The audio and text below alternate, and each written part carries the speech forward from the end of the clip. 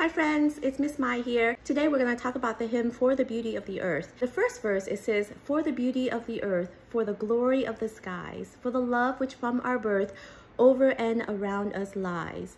Lord of all, to thee we raise this our hymn of grateful praise.